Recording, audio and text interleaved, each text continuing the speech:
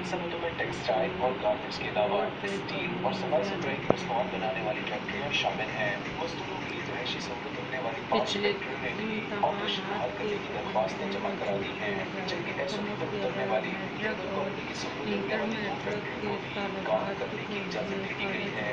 इस तरह से में अब तक कुल पाँच सौ उनहत्तर कारखाने ऑपरेशनल हो चुके हैं। मजीद खबरें इस पर